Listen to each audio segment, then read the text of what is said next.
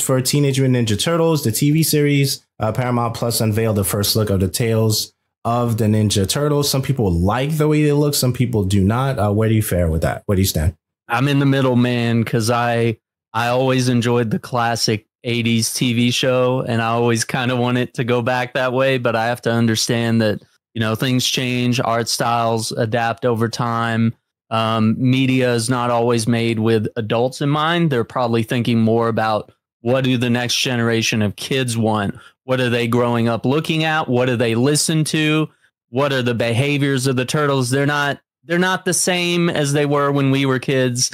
Things were different. You know, we were saying words like cowabunga and radical dude and all these all this 80s slang that, you know, has kind of shifted. So as each movie comes out, each TV show, video game, the turtles are going to change, but inherently they're still the same characters. It's still the same lovable concept and the same enemies. So at the end of the day, I think I'm still going to be watching, man. What about you? Yeah, so I think for me, they're still going to be the Ninja Turtles, but there are certain parts of the culture that we're going to see during that current creation or current adaptation of the turtles. So, you know, whether it's, uh, you know, dances or TikToks or, or different technologies, of course, Donatello and the Turtles are going to, right? You know what I'm saying? They're going Yeah. to like yeah, take that be in. awesome, man. They're Yeah. going to be, they're going to take that in and even do some dances, you know, that came from, from TikTok. You know what I mean? So I yeah, think they some, are. They are. some, some individuals, when they're thinking about it, it's like, oh, you know, I just want the same, you know, turtles that I had when, I don't know if we're always going to, to get the same thing. Even with Sonic, we've Huh. gotten some, some different Sonic, you know, characters Mhm.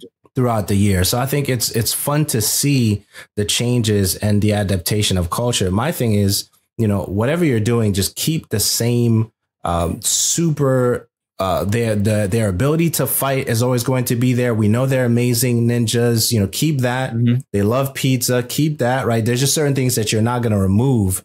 You know, from Yes. from the franchise itself. Like when they're solo, uh, they can be defeated when they're together. Nobody can defeat them. It could be aliens from outer space. It doesn't matter. You know, you're going to keep those things, but culturally, they're going to adapt to the things that's happening uh, in real time. So I don't have an issue with it.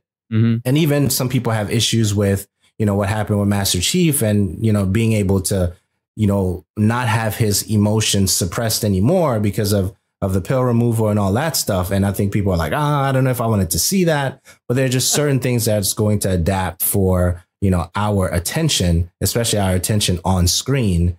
And and that time, you know, has actually diminished because of the TikToks and the shorts and all the things that we watch now. You know, so getting our attention and keeping our attention on screen is going to be a, a challenge, you know, for a lot of companies. And some companies do it well, and and some are still working on it. So I'm here for it. I think there's a lot going on with the turtles that you can enjoy. Absolutely, man. Yeah, so so that's what's going on with the turtles.